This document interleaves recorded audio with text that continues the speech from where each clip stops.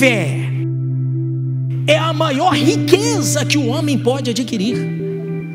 A fé é a maior virtude, a maior riqueza que você pode alcançar aqui dentro. O problema é que as pessoas querem obter de Deus um resultado não usando a fé, elas querem que Deus tenha pena dela. Então ela se apresenta diante de Deus como vítima, como uma coitadinha. E Deus não se move por pena e nem por dó de ninguém. Deus se move pela fé. Você não é vítima, você é um vencedor. Você é um filho de Deus.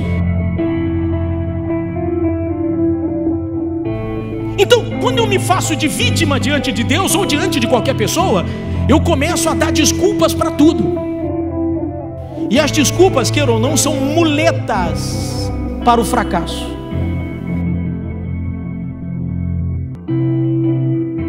É como se você quisesse entrar numa corrida do sucesso com duas muletas. Você sempre vai chegar em último lugar, porque as muletas vão te atrasar a vida toda. É você que tem que jogar essas muletas chamadas desculpas fora e falar assim: quer saber de uma coisa? Ao invés de usar desculpas, eu vou usar a minha fé.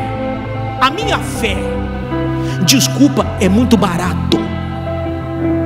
Que esforço uma pessoa precisa fazer para dar uma desculpa? Qual é o sacrifício que alguém tem que fazer para dar uma desculpa?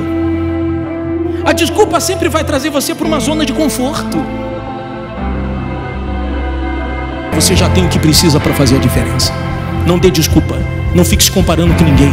Jogue fora essas muletas. Pare de ficar olhando para a corrida de quem está ao seu lado e faça a sua própria maratona. Eu não aceito essas muletas de desculpa. Eu preciso fazer alguma coisa para mudar a minha história. Uma coisa eu minha mente não vai ser dominada por coisas negativas. Eu quero trazer à memória aquilo que me dá esperança. Como é que uma pessoa se comporta diante de um problema? Ela não se comporta baixando a cabeça e dizendo seja feita a tua vontade. Ela diz assim: Eu não aceito essa situação. Você vai parar de falar sobre problemas e vai começar a falar com o seu problema. Vai parar de ficar falando da crise e vai falar assim: crise, eu estou crescendo e eu vou ficar maior do que você.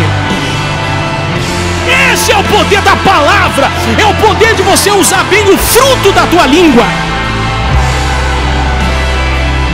A morte e a vida estão no poder da língua. O que bem a utiliza, come do seu fruto. Quem és tu, ó montanha enorme? Diante de mim você não passa de uma campina.